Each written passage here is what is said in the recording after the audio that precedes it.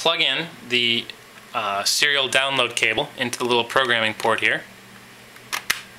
Uh, and with that plugged in, pull up the new program that you want and uh, simply start downloading it. It'll take a couple seconds there and we're done. For good measure, uh, it's always good to reboot the microcontroller uh, and upon restart it should be running the new program that we want.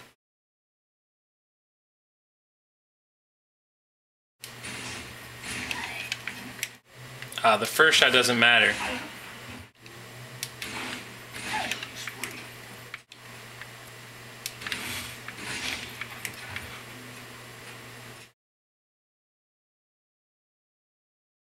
Quick here. Time.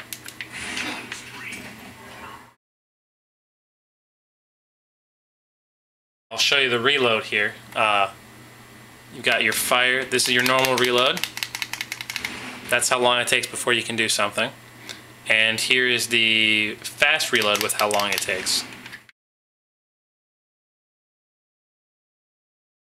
With a double shot, it just takes two clicks, so